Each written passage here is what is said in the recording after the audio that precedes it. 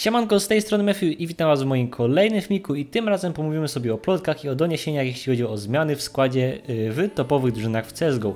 Wiadomo, po Majorze jak zwykle nadszedł czas na jakieś zmiany. Każdy, kto lubi oglądać profesjonalny CS, nie narzeka z pewnością na niespodzianki na Majorze, które na pewno były dużym rozmaiceniem w porównaniu do poprzednich kilku Majorów, no, gdzie zwycięzcą i drugim finalistą był prawie zawsze jeden z faworytów.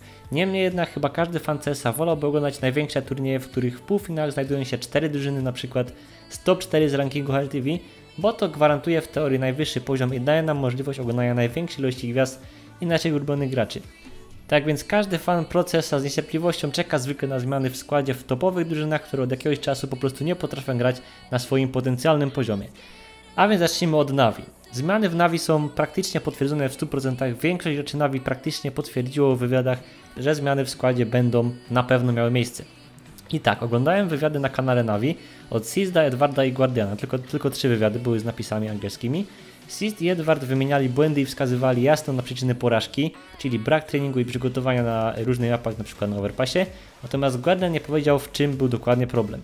Guardian ma wieloletnie doświadczenie w CSGO i dokładnie wie w czym leży problem, więc z psychologicznego punktu widzenia można takie unikanie odpowiedzi prosto wytłumaczyć. Po prostu Guardian był jedną z głównych przyczyn tych problemów w Navi i dlatego nie chcę mówić o tych właśnie przyczynach. Wszystko to ma sens, bo sam Guardian w innym wywiadzie z wczoraj mówił, że od czasu dołączenia Simpla nie gra mu się aż tak przyjemnie w CSGO. Oczywiście brak treningu i być może brak motywacji mógł być również spowodowany ślubem Guardiana, no i znając te rzeczy Navi i ich mentalność, można wręcz no, założyć się, że każdy z nich może z wyjątkiem Edwarda tworzył jakieś problemy i konflikty w drużynie, więc absolutnie nie można wskazać Guardiana za winnego, za jedynego winnego, natomiast można pewno go wskazać za najłatwiejszą osobę do odstrzału, można tak powiedzieć.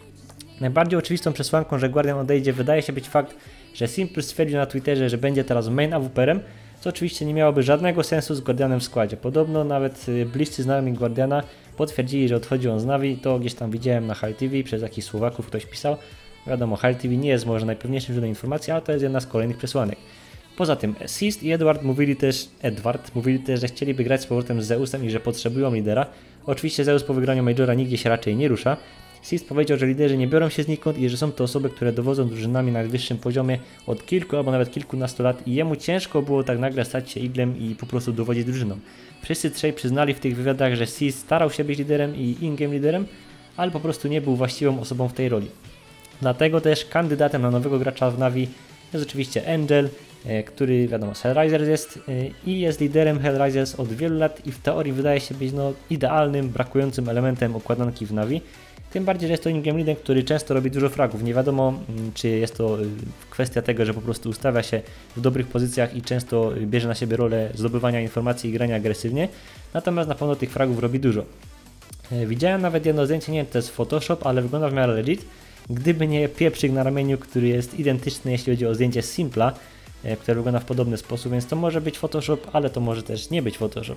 Oficjalne newsy o zmianach w Navi mają się w teorii, y, według jakichś plotek, ukazać w piątek, jutro, ale z tym wiadomo, różnie bywa.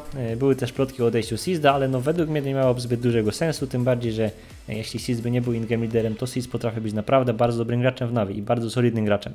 Drugi zespół, którego dotkną zmiany to oczywiście North. Praktycznie potwierdzona jest już nieoficjalnie zmiana w składzie, czyli minus Magisk plus Valde.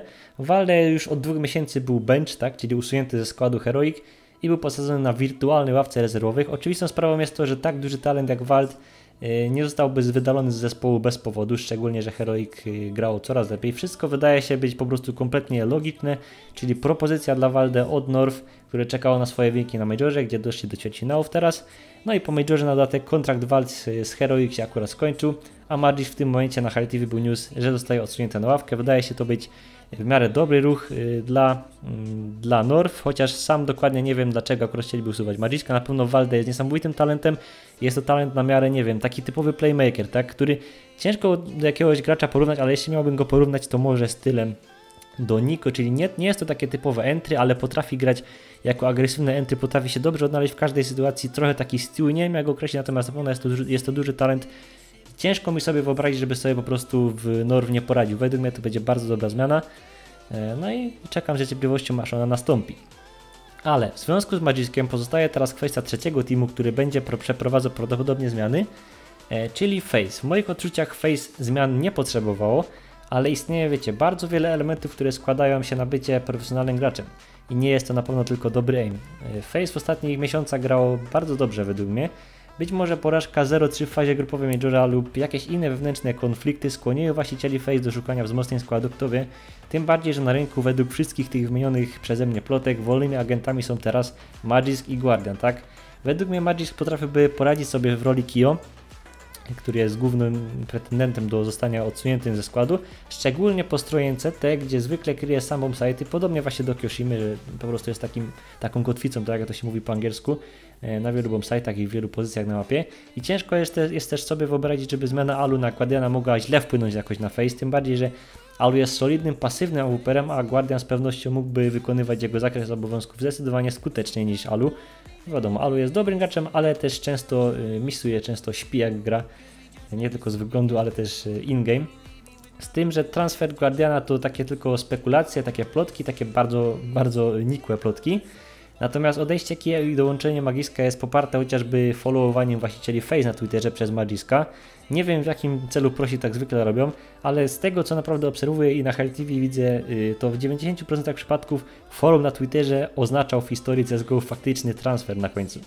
Jednak nic nie jest jeszcze potwierdzone, wiadomo. Również trzeba brać pod uwagę fakt, że sumy za wykupienie zawodników są teraz po prostu gigantyczne, y, jak na po prostu CSGO i esport. Zmiany w Face wydają się być według paru plotek i informacji od znajomego, znajomego, mojego znajomego niemal tak samo potwierdzone jak zmiany w Navi, więc czas pokaże tylko czy moje przypuszczenia chociaż po części się sprawdzą, no i też nie tylko moje przypuszczenia, ale też wiele plotek, e, a tym bardziej, że na przykład zmiany w Navi były już e, dokładnie, że tak powiem, praktycznie, że nieoficjalnie potwierdzone przez jakiegoś tam menadżera Zeusa, który tam pisał tweety w stylu, czy jakieś tam na tym w kontakcie, tak, na tym ruskim Facebooku, jakieś rzeczy typu, e, że jakiś tam coś w stylu jakiś tam, że żółty tam Guardian staje się teraz multicolored, coś jakby, że do Face miał dołączać, więc tutaj tego nie wiem, albo na przykład rzeczy w stylu, że jakiś tam żółty gigant będzie brał zawodników od czerwonego smoka, czyli od Headrisers, e, no, a tak w ogóle to Guardian, nie wiem czy wiecie, ale Guardian zna oprócz języka angielskiego i oczywiście słowackiego, ponieważ jest Słowakiem, zna również język rosyjski, którym włada dosyć, dosyć dokładnie i dosyć e, płynnie, ponieważ wiadomo w Navi porozmywa się po rosyjsku,